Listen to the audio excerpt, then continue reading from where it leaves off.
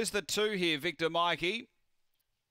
Spring Ammo last start box one winner. Ran 25 and 26. The light on. We're ready to go. Race seven. They're set to run. Racing, Victor Mikey out well is going to push up and lead early. Over to second, Bounden Baby, and then Howling Hoss, Aston Marlin.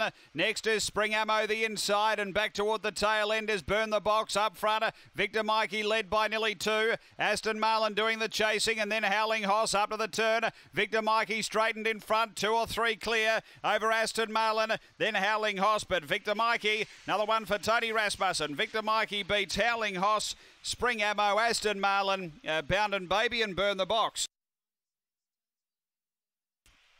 After the running of race number seven, and uh, too good all the way here for uh, Victor Mikey. Number two, he had a great start to the race, uh, set up a uh, nice lead, and Tony Rasmussen gets another winner.